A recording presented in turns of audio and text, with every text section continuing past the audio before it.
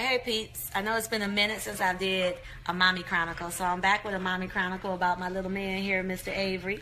No, I want the level. And look, look, look, look, look, look, look. I'm looking.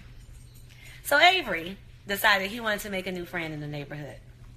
He decided to go across the street and ask if the little girl could come out and play.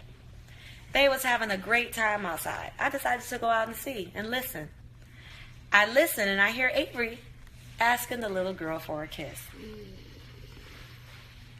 Now he knows better than that.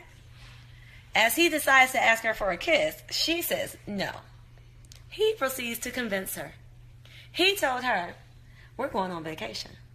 We're going to be staying at a hotel, and we're going to be at swimming pools, me and my mommy and my family. And you can come, but you got to give me a kiss. And then you could be my girlfriend. Absolutely not.